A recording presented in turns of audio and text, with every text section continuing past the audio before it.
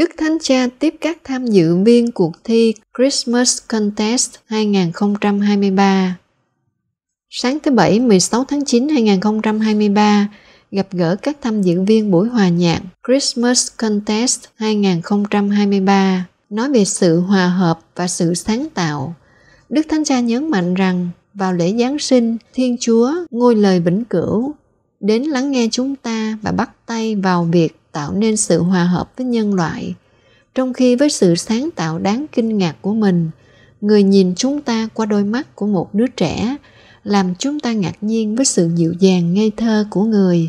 Buổi hòa nhạc Christmas Contest 2023 được tổ chức bởi Bộ Văn hóa và Giáo dục của Tòa Thánh, tổ chức Gravissimum Educationis và Cộng hòa San Marino với sự tham dự của các nhạc sĩ trẻ tuổi với những tác phẩm mới lấy cảm hứng từ lễ Giáng sinh và các giá trị của lễ này.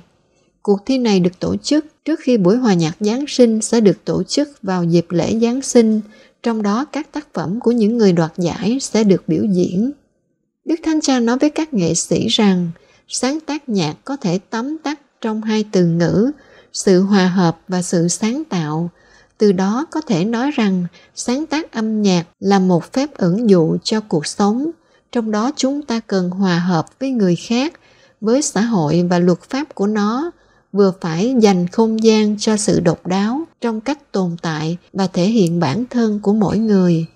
Đặc biệt đức thánh cha lưu ý rằng sự hòa hợp và sự sáng tạo không tương phản với nhau, bởi vì tìm kiếm sự hòa hợp không có nghĩa là coi thường sự độc đáo của mỗi người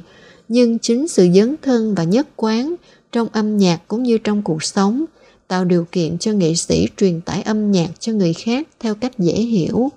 Kết nối với buổi hòa nhạc giáng sinh, đức thánh cha nói rằng âm nhạc không chỉ nói về chúng ta, nhưng còn nói về cuộc tìm kiếm thiên chúa và đôi khi về chính thiên chúa. Và sự hòa hợp và sự sáng tạo trong việc sáng tác âm nhạc được tìm thấy trước hết nơi thiên chúa và lễ Giáng sinh bày tỏ chúng theo cách đặc biệt và cảm động. Khi ban cho chúng ta, Chúa trở nên nhỏ bé vì chúng ta, việc người trở thành con người để thông truyền cho chúng ta hơi thở vô tận của tình yêu thần linh của người. thank you